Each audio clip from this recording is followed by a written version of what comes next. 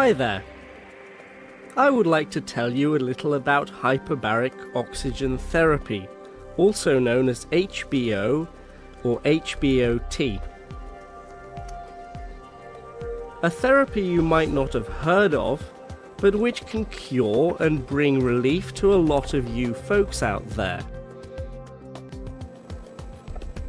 So please, take a seat, give me a little of your time, and I will tell you what it is and how it can help you or your relatives. Personally, the first time I heard the term HBOT, I thought I'd stumbled on some advanced space technology. But as I found out later, the history of HBOT goes back to the 16th century. But leaving history behind us, let us explore one fact which almost always goes unnoticed, though it's right under our noses. I think all of us as children heard the saying, you must eat to grow up big and strong. Be a fireman. Be handsome. I don't want to argue with our mums and grandmas, but they only told us half the story. Without one other ingredient, only 5% of the energy stored in food can be used by the body. Do you know what ingredient? Still puzzled? Okay, then let me give you a hint. It is invisible, odorless. It is the symbol O2. Yes, you got it. It's oxygen. Overlooked, taken for granted, yet invaluable for our lives, oxygen is not only a fuel for our bodies, it can also do a lot more. And here we come right back to HBOT. The therapy treatment itself will take us into a machine called a hyperbaric chamber. You might have seen it on TV in connection with deep sea diving accidents.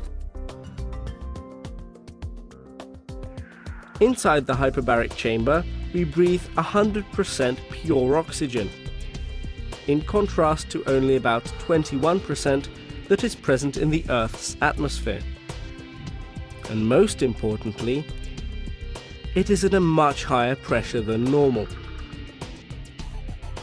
The pressure may vary by the diagnosis being treated, but it can be up to 3 atmospheres, the equivalent to being 20.1 meters deep underwater. Thanks to this specific environment, various unusual effects occur. For example, the average adult consumes almost 2.7 kilograms of O2 a day, of which only 900 grams go into the bloodstream. In a hyperbaric chamber with double the atmospheric pressure, we breathe double the number of molecules, but remember, with HBOT, we use pure O2. This results in breathing 10 times the regular amount of oxygen. So in one hour, we can inhale 1,100 grams. Red blood cells instantly fill up with oxygen, and the leftover O2 dissolves directly into the blood plasma. In a few minutes, all this extra oxygen builds up tissue oxygen levels far above normal, even in damaged hypoxic tissues, which helps healing. Among other effects we should mention, and ones you should ask your doctor about, are decrease in swelling and inflammation, promotion of growth of new blood vessels, increase in the body's ability to fight infections.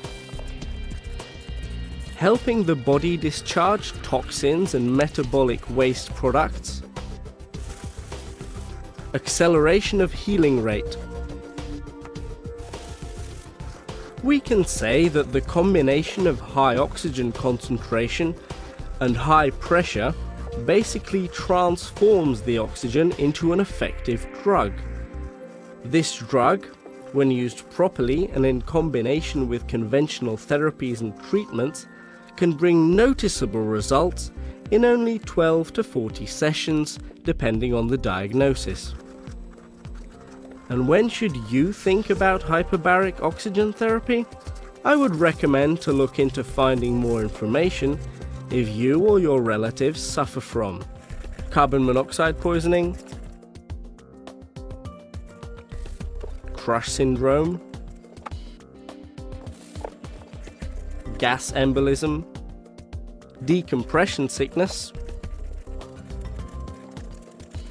anaerobic or mixed bacterial anaerobic infection, diabetic foot lesion, non-healing wounds secondary to inflammatory, radio-induced manifestations, severe burns, strokes, diabetes and cardiac diseases, autism, and others. If you're interested in knowing more, you can start at hbot.g7oz.org.